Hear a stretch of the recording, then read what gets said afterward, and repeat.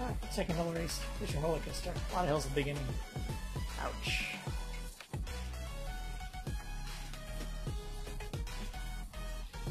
Hopefully they'll be big group to ride with. But, uh,